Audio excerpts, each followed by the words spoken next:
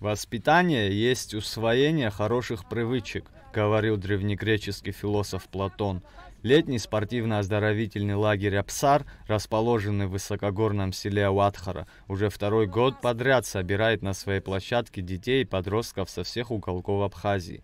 По словам Нарта Абба, лидера молодежной организации «Апсар» и создателя одноименного лагеря, главной целью проекта является воспитание здорового и защищенного от зачастую пагубного влияния улицы поколения. В течение недели здесь, среди живописных альпийских лугов и величественных величественных вершин Рицинского реликтового заповедника, вдали от родителей, но под чутким присмотром опытных инструкторов и воспитателей, у детей есть уникальная возможность приобщиться к природе родного края и узнать больше об ее истории и культуре. А благодаря программе лагеря по вовлечению детей в спортивно-оздоровительную деятельность, еще и развить интерес к здоровому образу жизни. Программа лагеря очень интересная. То есть здесь у нас помимо э, пеших маршрутов, это на озеро Мз, на Джарский водопад и на перевал Ацитук, э, существует здесь внутри лагеря тоже существует много программ разных. Это стрельба из лука, это программа по спелеологии. Э, ну, само собой, здесь на территории лагеря присутствуют э, спортивные площадки, где дети могут играть и в волейбол, и в футбол, и разные соревнования устраивать. То есть интеллектуальные соревнования устраиваются. Дети, каждая смена, которая приезжает, дети снимают такие короткометражные свои фильмы, ролики о пребывании в свой период в лагере. То есть, ну, то есть детям интересно, дети не хотят уезжать, то есть наоборот, очень многие просятся остаться на вторую смену, смену. Нарт Абба признается, что реализация идеи была бы невозможна без широкой поддержки правительства страны. В прошлом году мы этот проект презентовали, нас поддержали, поддержало руководство страны, поддержал парламент, кабинет министров. И вот в прошлом году мы первый палаточный лагерь создали на перевале Пов. Потом уже лагерь стал более востребованный, родилась идея по расширению. Также в этой идее поддержал нас президент. По инициативе президента Аслана Бжаня лагерю были выделены средства на строительство 10 коттеджных домиков. И начинавший свою деятельность как палаточный, уже со следующего года лагерь будет размещать детей в комфортных домах, построенных с учетом всех особенностей горной местности. Домики сделаны по конструкции такой, что они выдержат э, примерно вот э, каждый столб, да, вот если вы снимете, каждый из них выдерживает по 7,5 тонн нагрузки на себя. Э, все вместе выдерживает примерно ну, 80 тонн нагрузки. То есть если снег будет 5 метров, это примерно по расчетам нагрузка примерно 60 тонн, она его выдержит тихо, спокойно. То есть с ними ничего не случится. И здесь еще сделаны бетонные э, сваи, то есть э, на них держится вся конструкция. Если даже будет э, лавина, да, спад какой-то, или будет, э, допустим, сильный дождь, который будет обмывать их, они все равно будут стоять. Реализация даже самого амбициозного проекта невозможна без сплоченной команды единомышленников. По словам работников лагеря, их коллектив уже перерос в настоящую семью, а воспитательную деятельность и работу с детьми они воспринимают не как ремесло, а как вклад в здоровое будущее своей родины брать, если идеологию, ради чего э, мы молодежь, которая хотим развиваться, мы молодежь, которая любим свою культуру, пожалуйста, создавайте побольше подобных лагерей. Наша молодежь слышащая и понимающая, и принимающая. У нас костры каждый вечер, и они направлены не на шаблонную программу, а на разговорные речи. Мы учим детей здесь разговаривать между собой, решать конфликты между собой. Сколько детишек, около 80, мы не запоминаем их фамилии, но по глазам, ориентируясь по ним, мы понимаем, что у нас очень хорошее, здоровое поколение. Ну, шустрые попадаются, но чтобы не было к ним подхода или с ними о чем-то нельзя было договориться или как-то. Кому-то надо как ребенку, кому-то как чуть как взрослому. Каждый по-разному развивается же все-таки. Просто нужен подход, нужно как-то подобрать все это, и все будет отлично. За здоровьем детей следит и всегда готова оказать необходимую первую помощь профессиональный фельдшер, работник МЧС Виктория Макаренко. Сейчас не сказать, что крайне тяжелый кто-то. Ну, в горах бывает подвернуть ногу, там вот такие травмы какие-то. Э, здесь на месте, у кого-то голова болит, кому-то плохо, все, все бывает. Ко всем ситуациям, естественно, экстренной помощи, первой доврачебной помощи мы всегда готовы.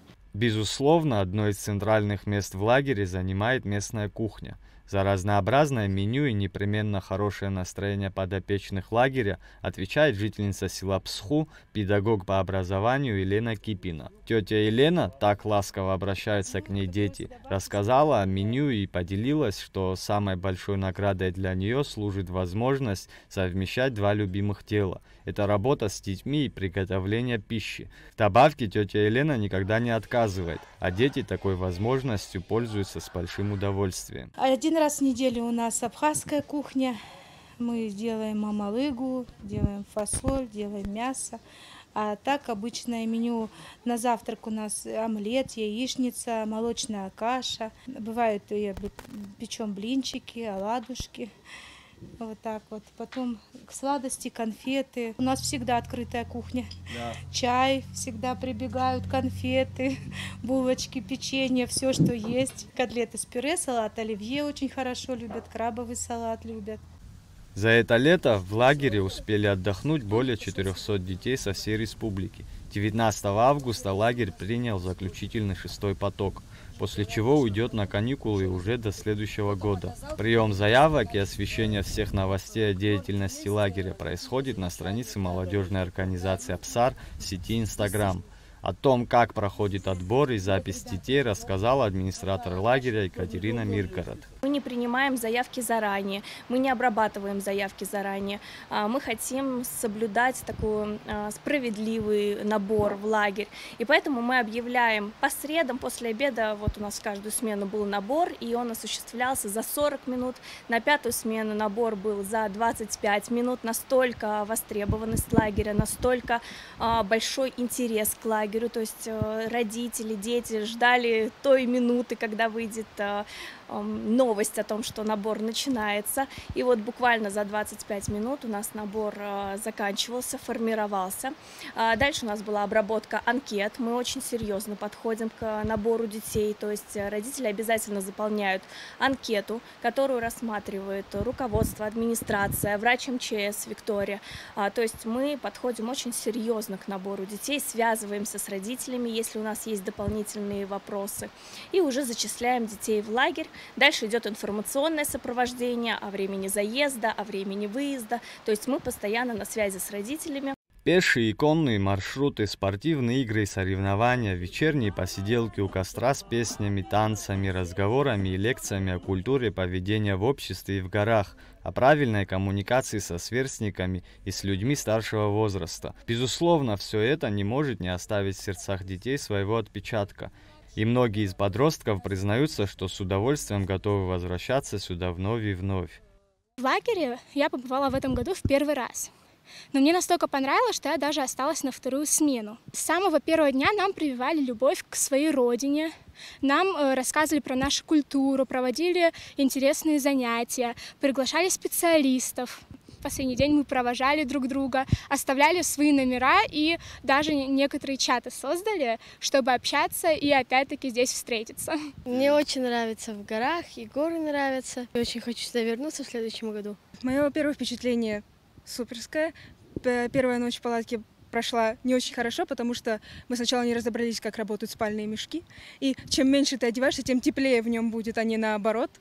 Вот. Но этой ночью все было хорошо, и всем было тепло, и никто не жаловался. Я хотела сказать, что абсолютно неважно, а, где твоя историческая родина. Абсолютно неважно, где ты родился, где ты прописан по документам. Главное то, что ты чувствуешь себя в душе. Я себя в душе чувствую здесь. Я родилась в России, но а, Абхазия — это как мой второй дом.